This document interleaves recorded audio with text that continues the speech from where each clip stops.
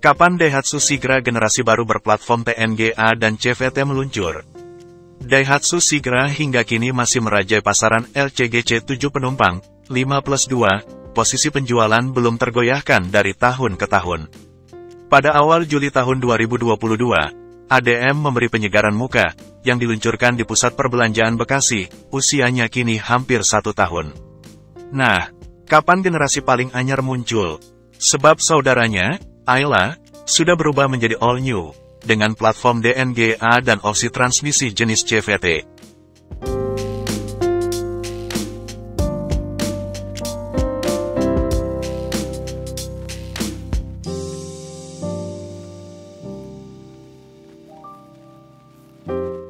Beberapa petinggi Daihatsu memberi respons mengenai kabar kemunculan All New Sigra. Untuk pertanyaan ini pasti nanti akan kami infokan. Nanti kalau sudah waktunya, teman-teman pasti diundang, peluncuran, tapi yang jelas tidak tahun ini, ungkap Hendrayadi Lastioso, Marketing dan Customer Relations Division Head PT Astra International Daihatsu Sales Operation, AIDSO, di acara Urban Fest di Bekasi tanggal 19 Juni tahun 2023. Mengenai generasi baru, sebetulnya ADEM sudah memiliki itu semua, tinggal bagaimana mereka meracik menjadi MPV LCGC baru. Untuk platform DNGA, sudah dipastikan menjadi papan konstruksi utama. Contoh, suksesor Xenia, Ayla dan Rocky menggunakannya sepertinya tidak mungkin Sigra tak pakai sasis serupa.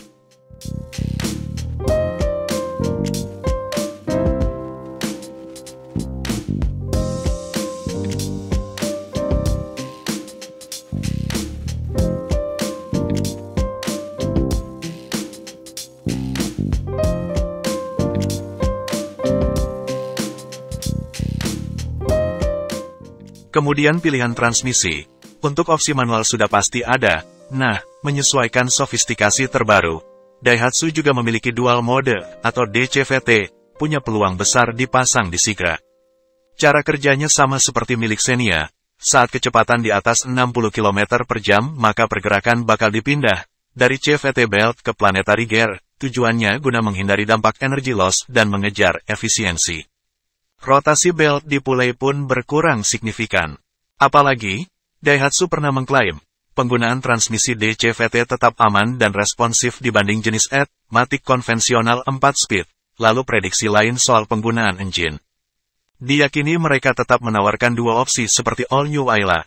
Pertama, jantung pacu dengan Vivid memiliki ruang bakar mencapai 998 cm3, 3 silinder segaris serta 12 katup. Ukuran diameter langkah 71 x 84 mm.